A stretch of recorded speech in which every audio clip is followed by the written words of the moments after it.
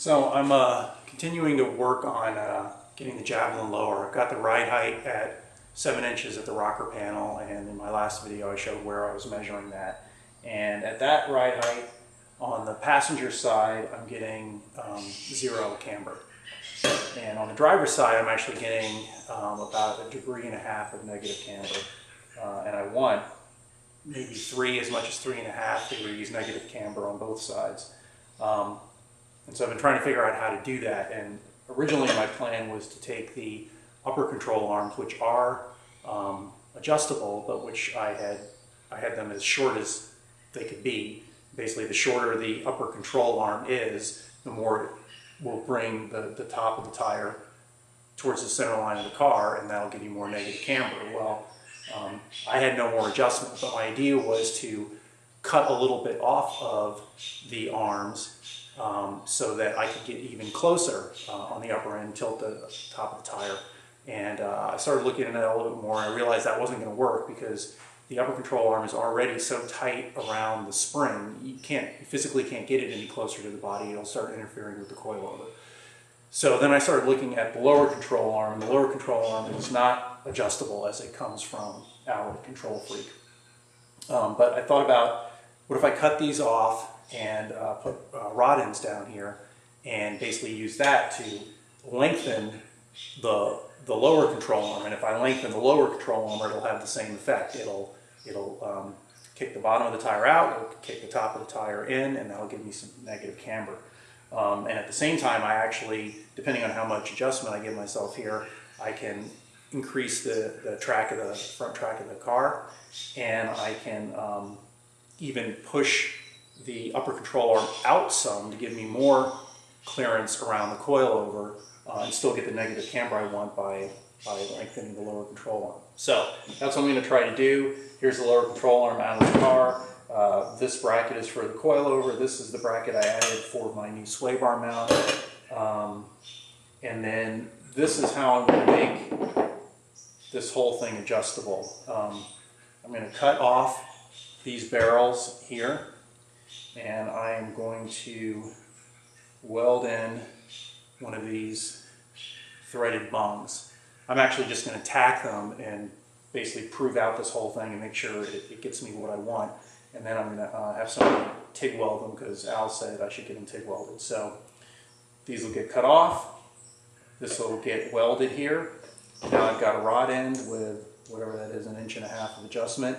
This by itself basically cutting this here, welding this in here, and adding the rod and the jam nut. You'll see there it's about three quarters of an inch longer already, and then I can thread this out probably another inch um, and play around with the settings and, and, see if I can get the negative camber I want. So I'm going to go take this over to the chop saw and cut off these barrels and um, see how these bungs fit. Okay, so a couple minutes later, uh, quick trip to the chop saw and the ends, barrels have been cut off. And now these threaded bungs just slide in and they'll get TIG welded around uh, the circumference. Um, I'm going to just tack them in place with my MIG welder and here's how the rod ends go eventually. So the rod ends are going to go in like this. And totally guessing here, but I'm probably going to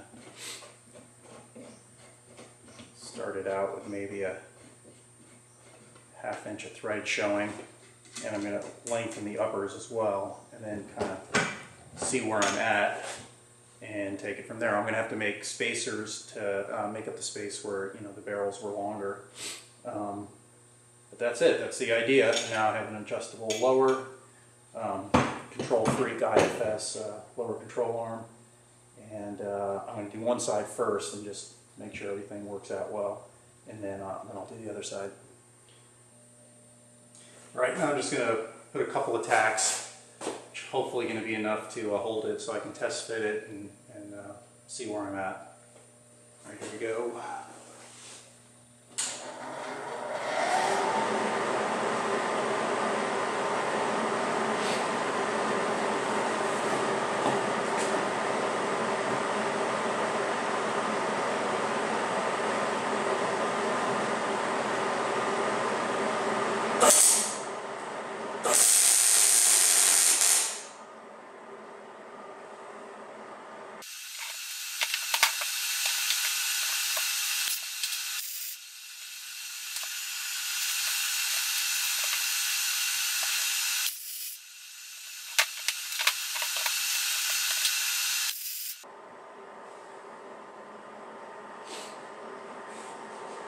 right, so hopefully that's going to hold it. Okay, so the uh, lower control arms are done. Uh, I had them in and out of the car several times, had the front of the suspension, had to take the suspension, you know, apart, put it back together. Um, I started on the passenger side and uh, had to have the control arm in and out of the car three times. That means, you know, I cut off the barrels, I had tack welded in the bungs, put in the rod ends, reassembled the passenger side, had to lower the car, um, you know, get it to settle, roll it back and forth, and check what camber I was at. And um, I had to take it out, grind out the tack welds, and actually trim a little bit off of the arm, reassemble it, put it back in, see where I was at. Still wasn't happy. Had to take it uh, out for a third trim. Um, and at that point, uh, I was pretty happy with it. So then I had to do the same thing on the driver's side, um, except this time I, you know, on the first cut, I cut it to where I cut this one to, um, and put it all back together, saw where it was, and it wasn't quite right, so I had to pull this one out a second time and trim about a tenth off, uh, and put it all back together. You know, again, that's tack welding every time, and then cutting the tack welds and trimming it on my bandsaw when it when uh, needed another trim.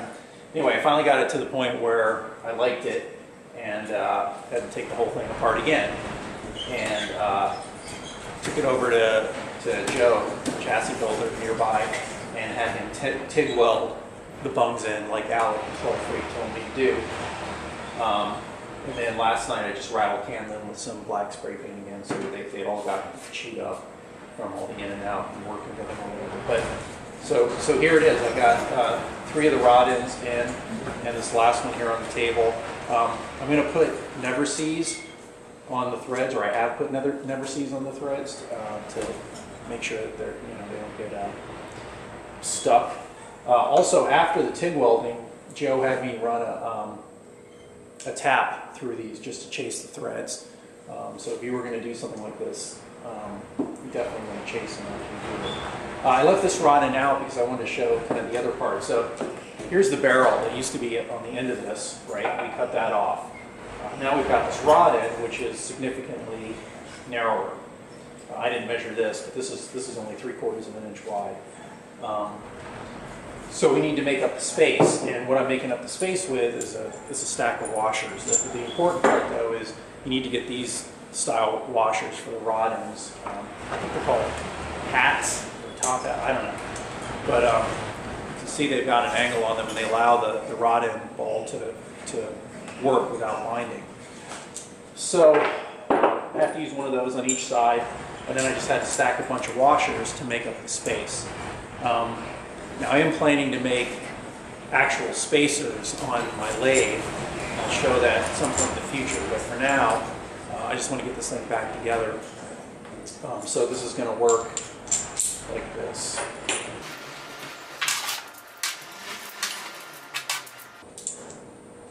All right, so all those stacked washers are going to make up for the, um, the width that this, this had. So it's going to go like that. It's going to go into the mount on the car. Um, so that's it for, for here on the bench. Um, once I have it all back assembled and down on the ground, uh, I'll shoot a quick video of where I got the, the camber to.